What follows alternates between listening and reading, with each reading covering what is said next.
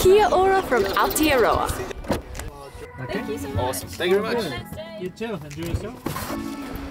Good morning from beautiful Dunedin. It is currently day 8 on our discounted cruise from Australia to New Zealand and today is the first time we've stepped foot on New Zealand soil and it's in beautiful Dunedin. Look how crazy this is. This is just a railway station. Dunedin is also home to New Zealand's only castle which we're gonna try and get to but to be honest this morning's been a bit of a schmozzle. We woke up and had breakfast really quickly at the local. We jumped off the ship with all intentions of walking into town thinking it would be like an hour maybe. Turns out it would have been three hours. So we quickly connected to Wi-Fi and tried to figure out how to get the local bus here. Morning two please. Six dollars. On card. So we need to find an ATM. Yeah. Okay. Thank you. Cash only. Nice little rush for the morning. Turns out if you're coming to Dunedin, you can get the bus, but they require New Zealand cash, or there is an ATM which isn't currently working. But we ended up just paying for an Uber and we made it.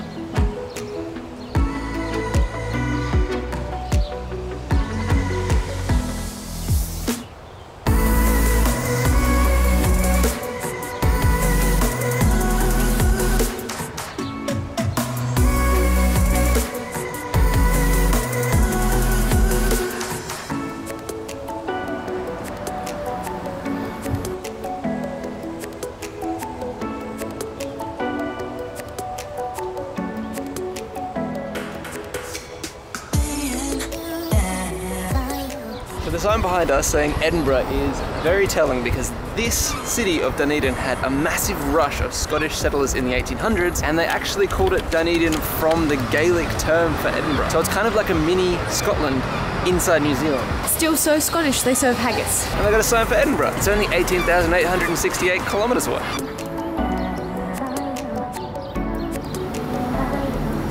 There's a bunch of things to do. It's just so fast. There's a bunch of things to do in Dunedin. There is a lot of things to do in Dunedin, but I think we're gonna go and find the art because there's mm-hmm. artwork. I was saying this was a gold rush town also in the 1800s, but eventually the gold dried up and now it's become sort of like a college university town. And being that, there's heaps of artwork everywhere. So throughout the streets in the center, there's all murals on all walls and things like that. So we're gonna go on an art quest.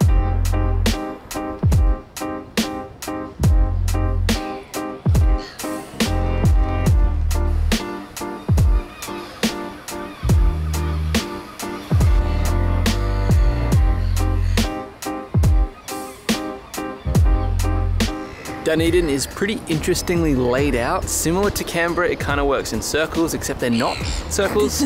the middle one is actually an octagon. So it's, Kind of like this big's not. it's similar. Octagons and circles are pretty close. So it's an eight-sided middle square with all these really important buildings and like a line of sight down the streets that just looks beautiful. I did spy a tourist information center, so I think we're gonna go see if we can get like, I don't know, a map, a good map. That'd be good. A map, some recommendations of where to go, then maybe a coffee. Info center was very busy. We remembered we have Wi-Fi now, we have internet now, so Emily's gonna take us to the art trail.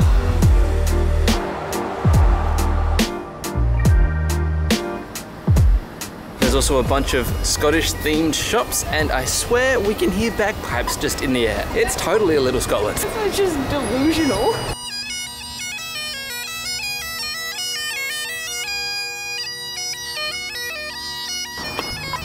Scottish weather as well.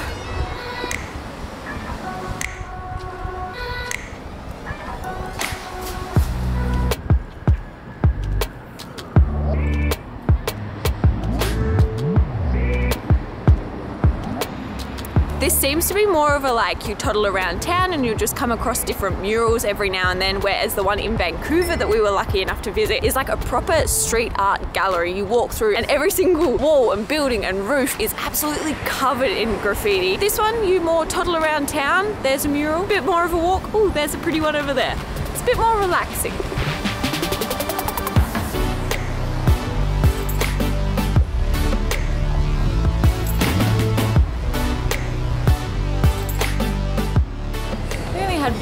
Coffee this morning with breakfast, and a local recommended Maggie's, which is down the street, which is like coffee shop and arcade. They were closed today, so we've come to the corner store because we needed some caffeine.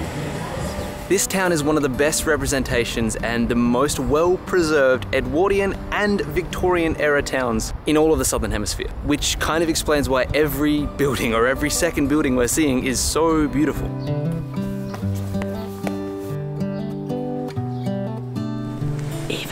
The only ones in here, I always feel like we have to whisper in a church. There is beautiful stained glass windows all around. They also have these really old flags that are just beautiful.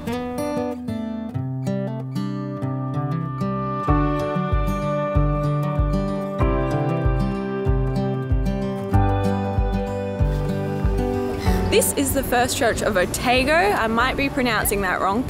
Otago. It towers over Dunedin, so we had to quickly call in before we catch a bus to one of Dunedin. I would say probably Dunedin's most popular tourist attraction, right? Globally, yeah.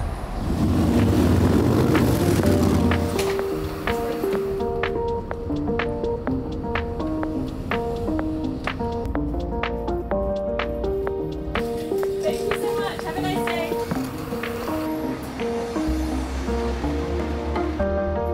Welcome to world's steepest street. At a 35% gradient, it earned that record from the Guinness World Records after a few years of a broad radio broadcaster basically arguing for it.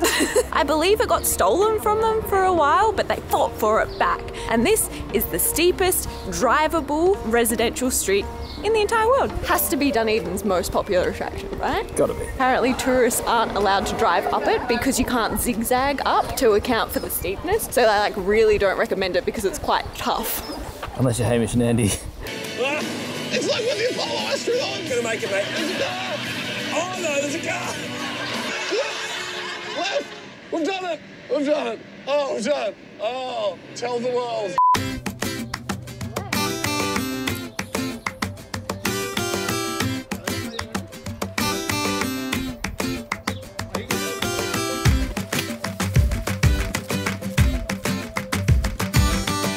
Apparently, the whole construction of the steepest street in the world was not intentional at all. They just wanted to lay the city out in a grid pattern, and the guy that planned it didn't have the topography, so he didn't know that it was going to be like this. They built it anyway. Apparently, there's a grandpa who lives on this street and runs up and down it 30 times a day as his regular fitness. Pretty sure our like smartwatches are telling us like you might be dying, go to hospital.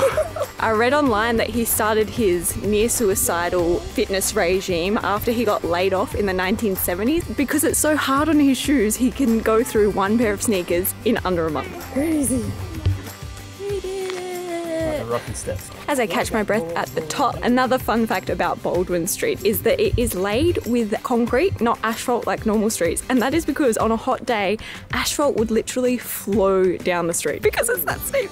This is so cool. How cute is this? It really wasn't that long to come up. So I think we start a timer for the way down. That's good because it will motivate us because we actually have to get back to the ship. Time honestly flies. Go. Ah. I honestly think I'd fall over.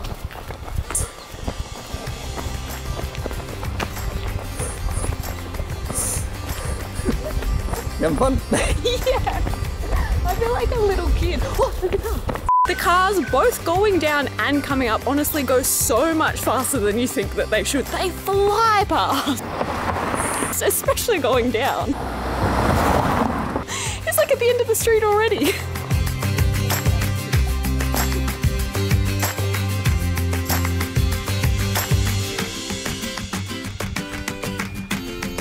four minutes, and we stopped a bunch of times to take photos and videos. Guess you really pick up speed going down. And that's the end of our time in Dunedin. I wish we had time to go to the castle, but it was going to cost 40 New Zealand dollars one way in an Uber to get there, and no public transport goes there. Yeah, not all the way. It would have been a long walk, and honestly, we probably wouldn't have made it back to the ship. And what a way to end. Steepest street in the world. I'm loving New Zealand so far. There's quite a few unicorns on buildings in Dunedin. I've been wondering why, but then it just twigged. It's Scotland's national animal. Hooper's Step. Hooper Kane ascended Baldwin Street aged three years and four months. Could not reach the fountain. Hence, Hooper's Step. That's so cute.